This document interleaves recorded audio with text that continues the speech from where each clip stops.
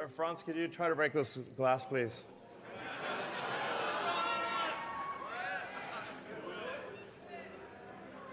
Yeah. Sure? Yeah. Oh my fucking god. Well, maybe that was a little too hard. Should we try the beer? Sorry? Okay. It didn't go through. That's so true. that's a, that's a plus side. Let's try the Right? beer. Try that one, really? Okay. Sure. Oh, man. It didn't go through. All right. Ah, not bad. Uh, room for improvement. All right. Uh, let's see. So yeah. Uh,